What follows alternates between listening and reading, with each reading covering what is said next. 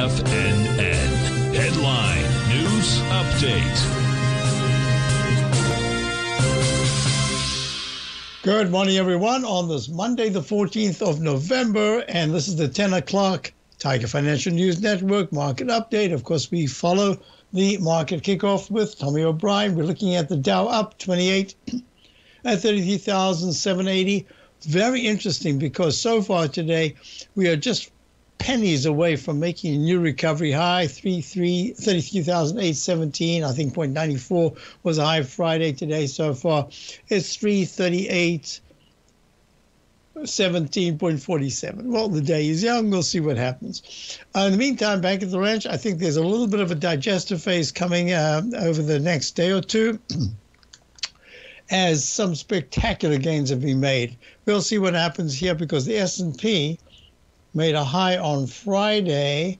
Uh, today's high is 3984.74 and that's under the high of Friday. So uh, we'll see what happens because this could be an alternate count F or B in the in the daily chart of the Chapman wave notations, and the 200 period moving average is way at 4,027. I think this week is going to attempt to get there, but we might chop around a little bit first. QQQ Index 100 is down to at 285.97. Had a fantastic Thursday and Friday last week. Did go to that leg D in the daily chart, getting into the Chapman wave inside track repellent zone in the weekly chart. And as I say, just the beginning of the week, uh, 35 minutes or something into the trading week, and we're looking at the IWM, the Russell 2000.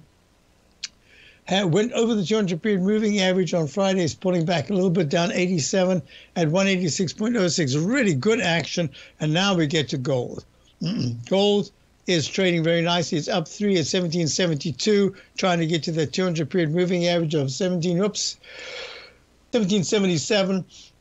Uh, this is really good action. The technicals are all very strong. The on balance volume in the daily chart is just a little overbought. We're looking at uh, the dollar pulling back on Friday very. Today it's an inside day so far, up a little 72 cents at 107.01. The TLT, that's bonds, uh, holding the gains of uh, Thursday and Friday. It's down to 17 ticks at 97.72.